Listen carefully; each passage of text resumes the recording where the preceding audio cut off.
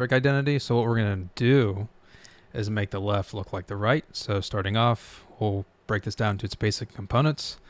Cosine is the same thing as 1 over cosine x minus sine x. And now what we can do is we can get a common denominator. So we'll get cosine. So we'll have 1 minus sine x cosine x all over cosine x.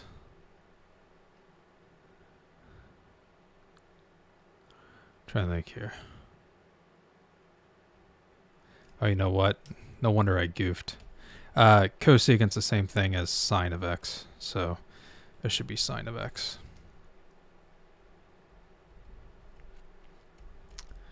Sine of x. All right, and then 1 minus sine of x is equal to